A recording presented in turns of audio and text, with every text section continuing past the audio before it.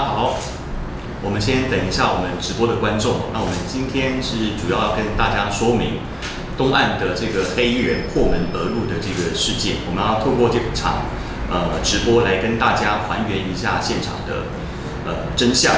好，我们先等一下各位观众朋友哈。针对东岸商场接管遭到外界质疑，出现黑衣人破门而入。政府发言人于志明、警察局第一分局长林昭策特别开直播还原当晚情况。甲方得进行收回土地、建筑物，还有各项的设备，乙方不得有异议。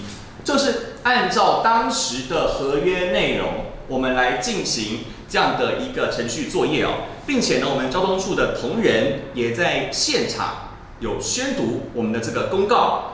也有张贴公告，并且呢执行我们相关的一个公务，还有围请锁匠来进行开锁的动作哦。那全程我们有都都有录影啊，好，并且并没有发生任何的肢体碰撞的事件好，那公务人员呢也是依照当时的招招标的合约内容来执行公务，来收回市府的资产。然而却被有心人士操作，说是强盗，这种说法其实相当的离谱，而且夸张哈。好，那我想跟我们现场的朋友再度强调一次哈，就是这些现场并没有所谓的黑衣人，这些人都是我们的执法者，还有公务人员，以及在现场要进行点交的新业者，也就是维丰百货公司的。楼管啊，他们完全都没有参与执行公权力的过程。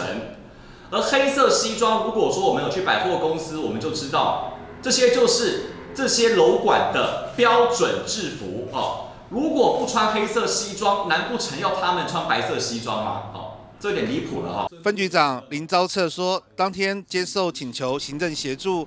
警察局派出四名制服员警、四名便衣收证的警力到场，全程都有对方的委任律师在场收证。分局啊，有接获这个基隆市政府交通处啊请求啊，针对本案啊啊来进行执行啊这个行政协助啊，为啊防止危害以及维持现场的秩序。所以呢，我们就派遣警力啊来执行。那呃，我们在现场啊规划了啊是市民制服啊市民的便衣搜证的警力哦，有我啊，我们九个人。那因为后来啊有民众报案啊说该处啊有纠纷啊，所以啊我们勤务指挥中心才又啊。这个指挥我们线上的六名制服警力啊到场支援。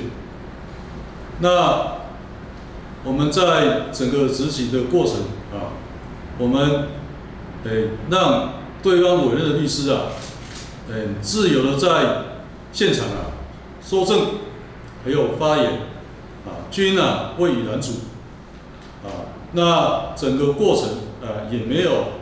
啊，这个发生啊这种冲突的状况，也没有所谓的黑衣人哦在场。好，以上说明。基隆市政府强调，公务员依照招标合约内容执行公务回收资产，却被有心人士操作是强盗扭曲事实，希望透过直播还原当时的真相。记者黄少明基隆报道。加四，然后还有还有分局长现场总共是九位，然后之后是有接获到民众。